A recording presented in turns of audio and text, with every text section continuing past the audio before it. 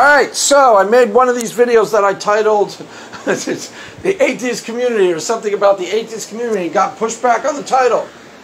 I mean, I, I get it to a certain degree. I understand that atheist is not necessarily a community. It's a collective of people with, to some degree, very disparate interests and very disparate takes on atheism. I get that to some degree, but in Twitter and YouTube, it is also a collective. And just because it is a loose confederation of, of people with disparate ideas doesn't mean it doesn't operate to some degree as a collective. You know, think about Christianity. You say Christianity this, this, this, and Christianity is even thousand times more varied than atheist proper. So there is a, basically an atheist community here in Twitter and YouTube. And part, uh, paradoxically, part of the reason why people get so defensive about atheism and that term is because the, the community is not very well defined and it is kind of a loose confederacy. There's no such thing out there in the real world, and I went back and was kind of, you know, a little bit surprised to find this out, as any sort of atheist meeting house or atheist group center. There may be one or two in Austin and one or two in select places around the country, but in New York, when I went back to New York, there was no such thing as in the real world, atheism hadn't penetrated at all. And here's the thing, atheists. I promise you this is true, and I'm not saying this because I want to score points against atheism or any reason like that. I'm just telling you because it's the God's honest truth. Okay, you talk about nones, nones, nones all the time. Like that's an important trend for atheism. It isn't. Why? Because most of the people I talked to were nones. Almost everybody. Most everybody I know from my former life, before I was a Christian, high school, college, almost all nones, almost all liberals, secular. They are the exact type of people who you would expect to become atheists. And guess what? None, none of them are atheists. I thought it was funny, you know, you just wrote it. Wasn't that funny, Craig? I really kind of thought it was. None of them are atheists. None of them are. But here's the more important thing if you're an atheist. And I'm saying this to help you, not to harm you or score fake points.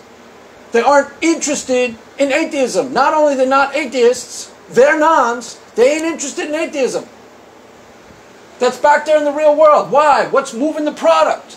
If you're one of these people, and there are some people out there, I know they exist, I know for a fact Shannon is one, and a godless mom is one, who care about like, you know, presenting the atheist community in the best light and, you know, bringing atheism into prime time and giving a good reputation to atheism as, as a whole then you should be listening to me. Why? I'm just telling you the truth. I'm not telling you this to score fake points against atheist community. I'm really not. I have no agenda in this. I really don't. I don't care. I really don't. I honestly don't. I'm just observing. And what I, the observations I make about the quote unquote atheist community are just observations. You're free to take them or leave them. But there are a group of people in here who call themselves atheists, right? We understand that. Okay. And they do operate somewhat as a collective.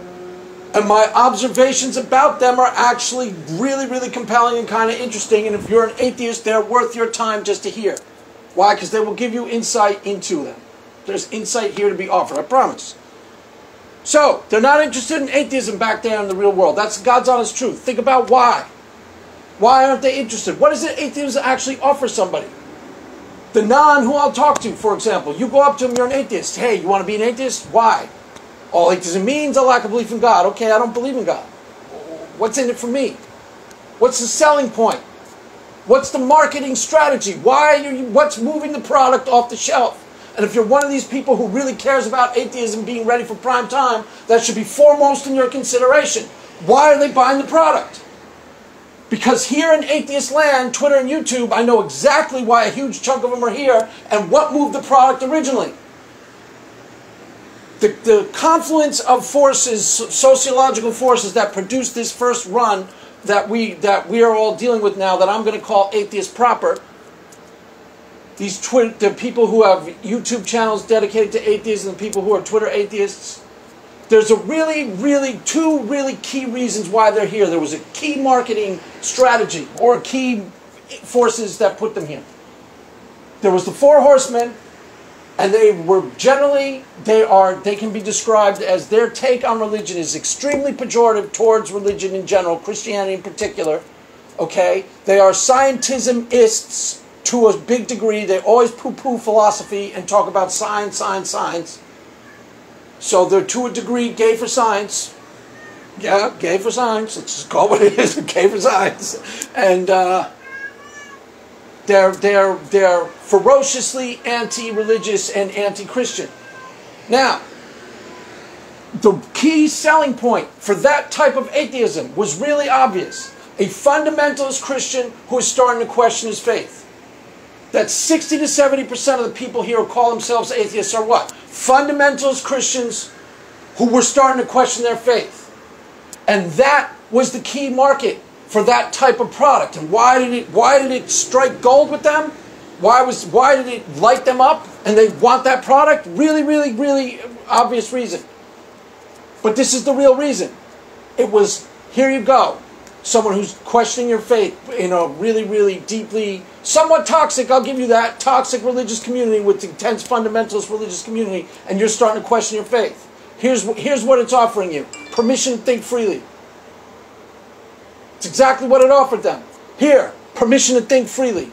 Might even been contraband. Here's this dangerous book. Yo, man, I got Richard Dawkins' book. Yo, you kidding? You kidding? Oh, man, I'm so excited. I can't believe it. Can't wait to take it. Take it home. Read it. Oh. The irony and the paradox is the louder the preacher in the, the sermon booth thundered against the scourge of atheism. The scourge of atheism, this Richard Dawkins is an immoral degenerate the more attractive that product seemed to a certain type of core audience. I said, That's just how those things work. That's really how those things work. A lot of those guys are guys, right? Are we correct? There's a handful of females in the atheist community. Uh, but a huge chunk of them are guys. Did you notice that? And a huge chunk of them were fundamentalists. And some of them think atheism is cool. That's the only reason they think it's cool. Why? Because some preacher who they didn't like they really didn't respect and didn't like, loudly thundered against that moral degenerate Richard Dawkins. He'll take you to hell. And that's like exactly why I watch The Warriors. The Warriors, if you don't know, same principle at work. Seventh grade was like my favorite movie when I was in seventh grade. The Warriors come out to play. No, why'd you do it, man? Why'd you shoot Cyrus? No, it wasn't us. It was the Warriors. They shot Cyrus. Awesome. It's an awesome movie. But why did I watch it in seventh grade? Because the same principle at work. It was being denounced on the news as dangerous. This movie is dangerous. This time they've really gone too far, and this movie is truly a bad thing. And that's catnip to a little young little, you know, hooligan like I was. It's catnip. I can't wait to check that out. Why? Because it sounds like I'm going to be cool just by watching it can turn me into a badass just like that. And that's exactly how it worked. It's exactly the paradigm, same reason I watched NWA. Went and made sure I bought the outline. This is this time it's really gone too far. This time it really is dangerous. These guys are sick. They're crazy. I gotta check that out. Same paradigm with atheism. But what it really offered someone was actually relatively important if you were in a fundamentalist community and you were the type of person who wanted to think freely. That's a key. That's why I thought I would get along with atheists. Why? Not everybody back there in fundamentalist land wants permission to think freely. Not everybody's looking for that. Go back and ask your friends. Poke around, you'll see. Why? Not everybody's wired up like you if you're an atheist. There's a reason why I thought I'd identify with them. Why? Because I kind of do. I get it. They're more philosophical, they're more inquisitive. They're not just going to, you know, they pride themselves on not just taking whatever comes across their plate and swallowing it down just like everybody else. And to a certain degree, they're right. They are a little bit more like that. And what, athe- what atheism offered uh, someone who is questioning their fundamentalist Christianity is really important to a certain degree. Here, here's permission to think freely. They might even have good friends, good intention friends in those churches. Someone like Erin might have had good intention friends who said, like, no, don't even. She might have said, like, you know, I'm not really sure if Jonah lived in the whale or, or whatever started questioning it. She might have had friends who said, No, don't even question that, Erin. Shh, you're going to go to hell for even thinking that. Ah! they put this boogeyman deep in your brain. They put a boogeyman deep in your brain, and that's kind of what they do. Now, not every religious environment does that, guys, I promise. I know you don't find that really hard to believe, but you can sort of tell that's true. Why? Because we have a lot of people here now in Christian land who aren't like that at all. Who you would never describe in a million zillion years as a fundamentalist along those lines. You can watch John Depew videos for seven straight hours. Is going to send you to hell at any time? No, probably give you a free ride. It's matter of fact the opposite. You can watch a lot of the people who I interact with, and you will never get sentenced to hell, probably not ever, for thinking the wrong thing. That's a big part of what goes on there in Fundamental Slam. And it's exaggerated. And it's toxic to a, to a degree. I agree that it's toxic. The type of God that they're preaching, there is a healthy balance when you are preaching, you know, hellfire and brimstone. You are trying to put the fear of God in someone literally, and sometimes that is a good thing to put in somebody, but it's balanced. You know? I grew up in the exact opposite environment where it was just way too permissive and it was really destructive. I swear God, it's really destructive. You know, it's one thing to like be a little loose with your kids, and it's another thing. We had one of my friends, Mike Goldberg. I think I've told the story. On junior year, his parents would disappear for the weekend, so we'd all go over there and stay in the entire night, drinking and doing drugs, the entire night, Saturday night, all night, and the next day, Friday, Saturday night. That's not healthy. That's not healthy. It's too. It was too permissive regular America, at least back in the 80s, was way too permissive. There were no rules. There were no regulations. I went out every Friday, Saturday night, came home 3.30 in the morning. Because by the time my parents, by the time I got around, my parents were too tired to fight. So they'd be like, what time are you coming home? Ah, oh, 12.30, 1 o'clock. And they'd be asleep. And I'd come home 3.30 in the morning, drunk, drunk every single night, drunk off my butt. What time did you get home last night? Oh, I don't know, probably around 1. Never was. They were just too tired to even do anything about it. So there is there's a balance here. There is a if you're a parent, you understand this well, right? You want your kid to have proper boundaries so they don't do destructive things, especially when drugs are involved. Especially when drugs are involved. Why? Because drugs, let me tell you from, they absolutely are destructive, and those aren't myths about them. They can really, really harm people. I know a lot of people who took that one mushroom too many, did that one drug too many, and never came back and we're never the same. I know a lot of people like that. I shouldn't know any. I know at least five. Know them well. So back then in the party days, especially in the late 80s, early 90s, there was a lot of, you know, bad influences, a lot of destructive things going on at just regular old people parties. Now, I'm not talking about even before I got, became like, you know, Mr. Wild hanging out in New York in the in the city all the time. I'm talking about just regular college stuff. Even that back then took you too far. Took you too far into the direction of not healthy, destructive. This is too too too too much going on. So there's a balance. And fear of God can be understood as fear of consequences. In a secular way, it's just fear of, you know, downside, possible downsides. Here, here's crack cocaine. Is there a possible downside to us trying this? yeah, that's fear, fear of God, if you want to call it that, or it could just be common sense. yeah, there's a downside. Probably shouldn't try that. Why? Because it's probably pretty destructive. I swear to God, stuff like that was all over the place back then. I swear to God, it's true. I swear to God, that is true back in the 90s, uh, the early 90s, you know, the big one of the big social drugs that was available at parties was heroin. Promise. Go go watch a freaking Nirvana documentary if you don't believe me. It's even in the song. And I forget just why I taste. Oh yeah, I guess it makes me smile. I found it hard. It's hard to find. Oh well, whatever, never mind. I forget just why it tastes. That is slang for taking heroin. It's part of the hipster scene back then. You go to any party, it was readily, or not readily available, it was there. That's destructive. That's what happens when you take boundaries off of people. They tend to start getting involved in destructive things. That's actually one of the messages of, of Exodus. You know, the people lost all sense of self control. But that's for another story. Anyways, atheist proper. There were two main selling points. Most of the people who were part of the first wave of atheists who populated and started channels, okay, came here from fundamentalist Christianity. Huge chunk of them. And that was the selling point. Here, here's permission to think freely.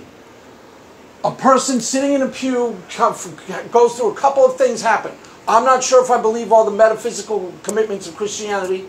I'm not sure I believe this. But the more important part is I'm not sure I like these people.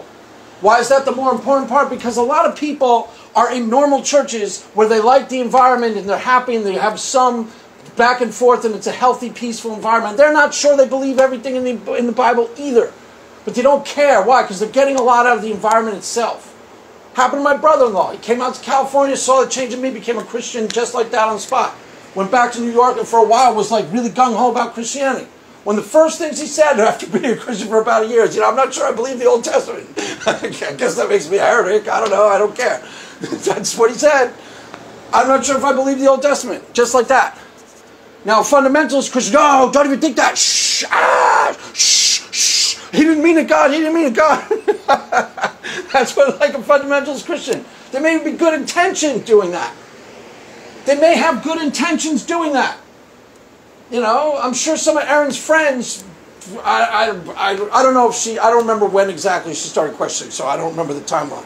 But if she had fundamentals friends or notes from Autumn, if they had fundamentals friends when they were starting to question, they may even had good intention friends who were like, no, no, shh, don't even talk like that. Put that Christopher Hitchens down. Put it down. Ah, it's to kill you. you know? Why? Because their perspective on this stuff isn't completely rational. Let's just be honest. Fundamentalist Christianity is, is too intense. It's too extreme it's it's not a balanced view of Christianity that you can actually grow up and you know kind of put into your life as a peaceful thing. To some degree, there's stuff that I empathize with fundamentalist Christians. Why? Because Christianity does in the Bible instruct you to be really committed to Christianity and put it, you know, your your commitment to God above everything else. But that doesn't mean you have to become like a total crackpot like Pokemon's gonna sentence you to have. If you touch Pokemon, you're gonna come apart. It doesn't mean you have to be totally insane either. So there's a there's a balancing act there. There's a fine line, and that's part of like you know what Christians need to actually successfully navigate and work out amongst themselves.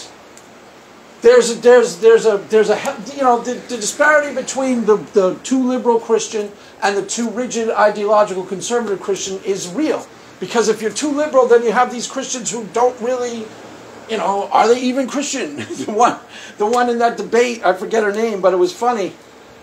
Watching her debate Alisa Childers, and that was the essence of the debate. You know, progressive Christianity is destructive, and the one who was the progressive Christian was like, you know, her views changed from within the debate. her beliefs changed like from sentence to sentence. So there is some sort of core defining principles or set of doctrines that we probably do all agree to or will all agree to. But what exactly those are hasn't been quite worked out correctly yet. You know, it hasn't. My only point is that it's entirely possible to be a person in a church, part of a church environment, and be really happy and contented because you like the people and you like the worship songs and you're going to church and you feel like a part of the community and you're helping like feed orphans and stuff and you feel good about yourself because you think you're actually giving back and if there is a God you're serving him to some degree and still question the metaphysics. Well, I don't think Jonah lived in a whale. I'm not sure if I believe and not care. And not care. That's the point. You go, I'm not sure if I believe that particular passage or the interpretation of that passage. You can be agnostic about a lot of those questions. You can.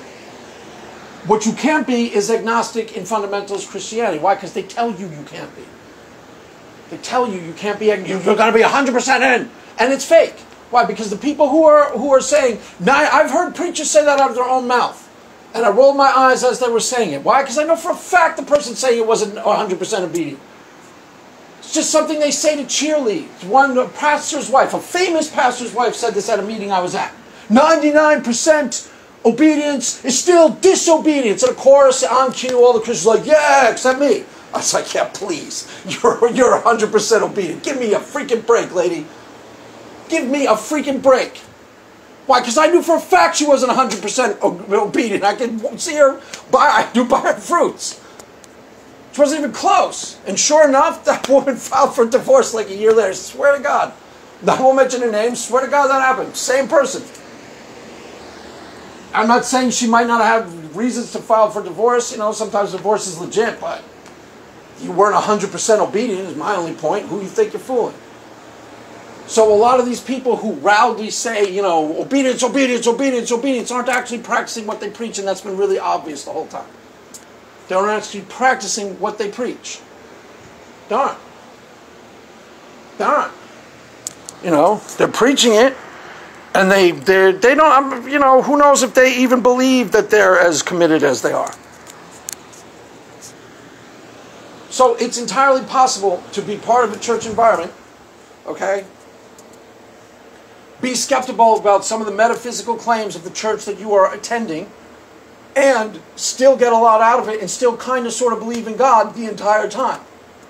And be a kind of sort of, I'm not sure, but you know, I, I'm getting a lot out of this. Christian. You know, they call them Sunday Christians, but you can turn Sunday Christians into more committed Christians just by improving their relationship just by improving the message, by improving the what goes on at the church. If what goes on in the church is more intense and more pure, it inspires more commitment. It's that simple. If you are dealing with pastors who are really, really trying to walk the walk and they can see that, that will inspire them to be more committed. Doesn't work in the opposite. Loudly haranguing people to put the Pokemon down or burn in hell. put that Pokemon down or you'll burn in hell. Doesn't really work. Why? Because you, you, you undermine your own credibility when you do it. At some point, the, the intelligent 16 or 17 year old is going, yeah, sure. Yeah, sure. And if there's a Richard Dawkins book nearby, they're going to grab it. And then the, the sky won't fall in on them. this, you know, the sky, they'll, they'll read it that night under the covers like it's a dirty magazine. I can't believe I'm reading this exciting thing. It's Richard Dawkins. Whoa. So cool. Be just like when I first time I was walking around with weed in my pocket in ninth grade. I swear to God, my friend said that to me. It's like I felt like such a badass, and I knew exactly what it meant. I felt like the baddest. Like I can't believe I have drugs in my pocket, man. it's the same idea. A lot more innocent version of the same idea, to tell you the truth, but the same idea. But when they wake up in the morning and they read the Richard Dawkins book, and the sky didn't fall in on them, then you have uh, undermined your credibility. That's the point. You've undermined your credibility. Why? Because the sky didn't, did nothing happened to them. So that's the first big market for atheists, and that's the most important market. That market may still be around. I sincerely doubt that market is going to have as much legs as it's had in the past. Why? Because there are a lot of Christians here. If you're if it's a journey of deconstruction that takes a year and a half, you got a lot of stopping points now in between deconstruction and total deconversion, I'm an atheist. A lot of stopping points that you can comfortably stay in and be fine. It used to be either or. And if it's a binary choice between like a rigid type of how Drew was raised, if its choice is binary, you know, either be raised the way Drew is raised and 100% committed or an atheist, atheist is the more honest position. Why? There's less metaphysical commitments. There's less, you have to believe less false things philosophically speaking, it's a more honest position. That's why someone like Drew can actually be an honest person and have integrity. And I'm like, well, how on earth are you an atheist then? And I listen to his story, and I'm, yeah, it's more honest than what he came from. Committing to what he came from would be dishonest. I accept that. I, I totally understand that. It makes complete sense to me. It's just not either or. That's the point. It's not even close. And at some point, that's going to start affecting the way the atheist community operates. Why? Because they've been trying to cover that fact up. And, and then the other wave of atheists were the debate me bros. Those are people who don't care whether God exists. They don't care about philosophical arguments for God. They don't really care about religion at all. They saw Christopher Hitchens wreck someone in the debate. They saw Matt Dillahunty do the same thing. And that's what they're here to do. Make somebody feel small and stupid. Can't wait. That's what they're here to do. Those guys are gone. Why? Because those guys are idiots. And you should want them gone. Why? Because they're a bad look for your entire community. They're a pack of idiots and they're awful human beings, and you should want them out. You should say good riddance. Why? Because they suck. And when people are talking about, I don't want to be an atheist anymore, that's what they're talking about. When people make these videos, the atheist community is poison and toxic. That's who they're talking about. Watch how those people treat decent human beings, and you'll see exactly who they are. Awful. And you don't want to be like them. And that's the real tension in the atheist community. Why? Because the philosophical atheists ain't like that. They're basically gentlemen scholars who really care about religion and philosophy of religion. Basically, they're gentlemen scholars. For the most part, that's how they operate. Honest actors who really care about religion and philosophy of religion. And they don't even want to be associated with this pack of thugs. That's the real tension. And the philosophical atheists are going to win. Why? Because the pack of thugs are usually idiots. Every once in a rare while, there's a smart one in there, but they're usually idiots. And they aren't going to be able to compete in the months and years to come at all. And once they start feeling stupid, which will happen very soon, then they're gone. Bullies only bully when they can. They're bullies, intellectual bullies. And like I said, paradoxically, they're idiots to a man. But they're bullies. And bullies only bully who they can bully. And the day is coming where they won't be able to. Even the high level ones who've been trying to bully me on Twitter, that's the only variation. You got the, the quantum mechanics experts, the physics experts who roll up on me to try and show me where to go. I'll show this Christian where to go. Thinks he understands quantum mechanics. Can't wait.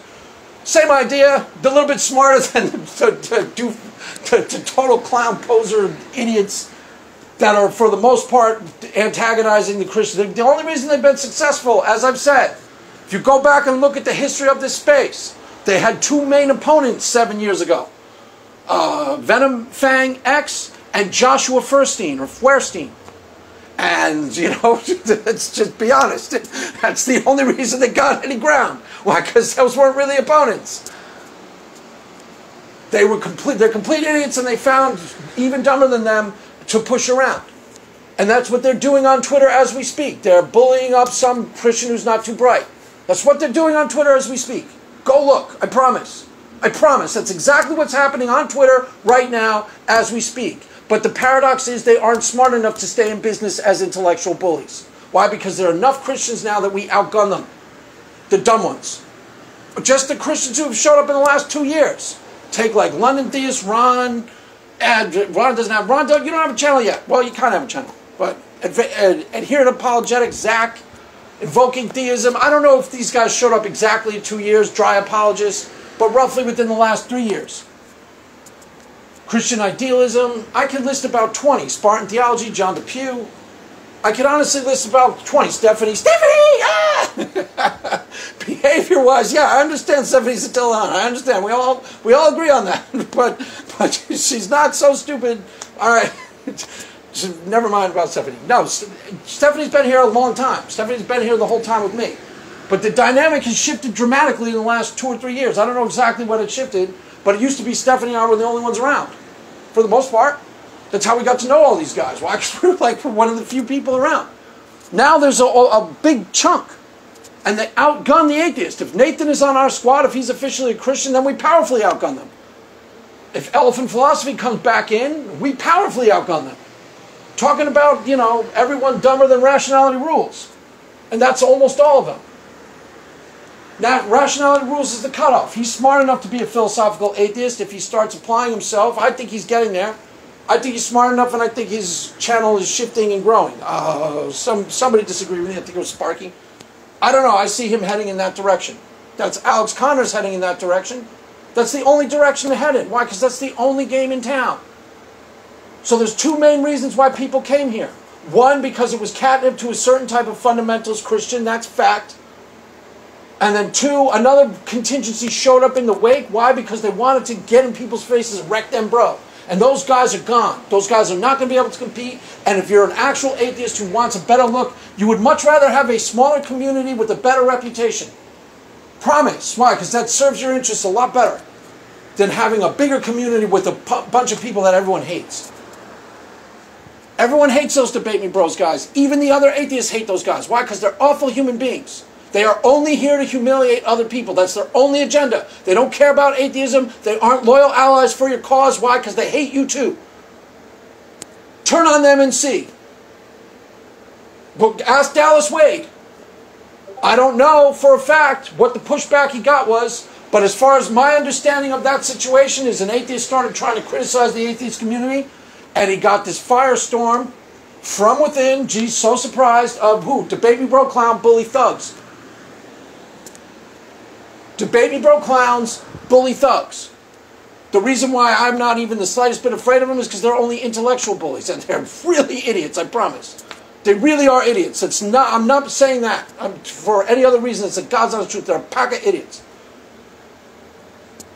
They're only one step ahead of like the Noah's Ark Christians. That's the only reason they survived. But look at what they did. I guarantee you, they they bully thug Dallas Wade. That's what I heard. I didn't watch. Go watch the reports. I watched his video starting to gently critique the atheist community. Watch for more of those. Started to delicately critique the atheist community. They came to bully thug him. Shut his mouth. Be idiots like us. Don't criticize us. The tension between them and the philosophical atheists is going to grow and it's going to end in favor of the philosophical atheists. And those bully thug clowns who have been operating as atheists will be thrown out of your community. And it's better for you, the atheists. Why? Because you much prefer to have a smaller community with a good reputation that people like and respect than a bigger community that everybody hates. Promise. Look at Christianity if you don't believe me. We had a really big, we had a really big community that a lot of people hated, and it didn't help us. I swear to God. Be much better for Christianity to have a small, polished set of honest actors who everyone respects goes, those guys, we don't necessarily agree with them, but those guys are good, decent people, and they, they, you know, they serve Christ with dignity, and they're respectful to a man. And hallelujah, those good people. I want what they have. That's the normal calculation.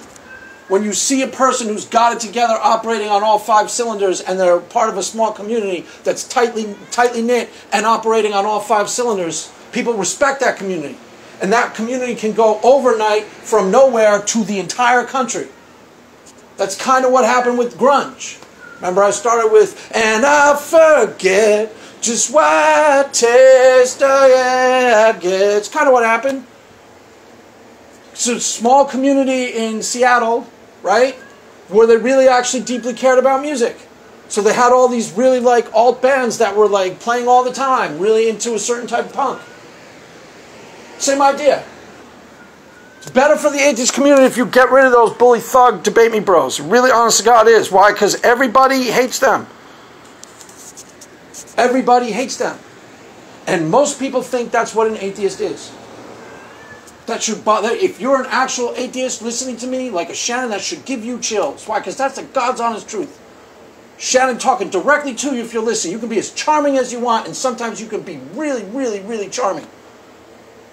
But 20% of your audience is abusive, evil douchebags.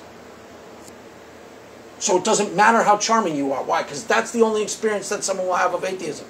They go watch your video and they're like, yo, she seems like a nice person. She's saying, you know, she's fun. She's amiable. And someone rolls up on them and spits in their face and calls them stupid, you stupid Christian. That's the only experience they will have of atheism. And they will hate atheists. It's, it's a Ask around. If you don't believe me, guys, ask around.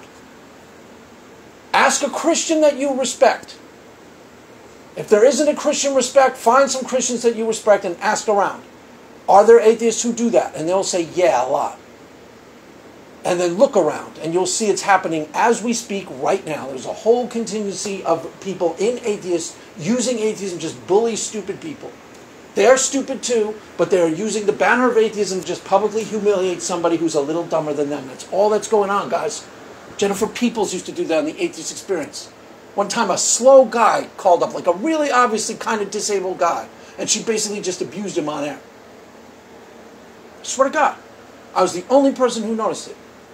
It was horrifying. That had happened today, people probably would have noticed it. Why? Because they're a bit more hip to that. But it was just a, like a not, it wasn't, you know, she just said, oh, it's Christian, therefore stupid, let me treat him like crap, let me totally abuse him. And it was actually kind of just a slow guy. Like, it was a Christian, yeah, I mean, it was a Christian, sure. But he was just like, you know, slow. Really obviously not well. Some of these people who they're out beating up on right now are really obviously not well. They're not, it's not that they're Christians are stupid, it's that some of these people are just, you know, not all there. So, anyways, the long and the short of it is, yeah, rambling a little, but you know, as I say, always, always good stuff, kids. Always good stuff. It's always primo, pre this good stuff you can't get anywhere else. You can go watch those cat videos if you want to, but you ain't gonna learn what time it is.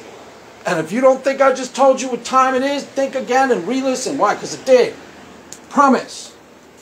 Gave you valuable information in this video. Some of this stuff is pure gold. Some of this stuff I said, why I don't censor myself. Why? Because, you know, the downside of me rambling is I ramble. ramble a lot, yeah, I ramble. But some of the stuff I say off the cuff is the actual gold. It's the actual insight. It's the actual thing worth hearing. And so far you got to dig to hear that stuff in my videos, but that won't always be the case. I'll clean up my act. I'll get it together eventually. I promise. I promise. I'll clean it up. I'll, I'll do better in the future. So, anyways, just thought I'd ramble once more about atheism as a community. No, it's not necessarily a community. It's a loose collective of people with disparate interests. But they're all loosely under the banner of atheism and they operate in the space as a collective. And part of the reason, paradoxically, why they are so touchy about the label atheist is because there isn't a real community. There aren't atheist organizations back there in any town, USA. They're few and far between. There are five to ten churches in every town across this country. Five to ten churches in every town across this country. So, as I've said before, I've got the gun soon, I'll have the numbers. Gonna win, yeah, I'm taking over. So, I don't know, kids. That's how I see it. As always, you are free to disagree with me. Just don't do it out loud and on Twitter. Just don't write it down on Twitter, and I won't care. or in the comments. Just don't write it on Twitter or in the comments. If you're free to disagree with me, just keep it to yourself. Why? Because I don't want to hear it. No, I'm just playing. I'm just playing. All right, fine, fine. Fine, I'll end the video. End the video, Craig. You're digging a hole. All right, all right, I'll end the video. So, there you have it, kids. That's all for now. Mass is ended. Go in peace. Amen.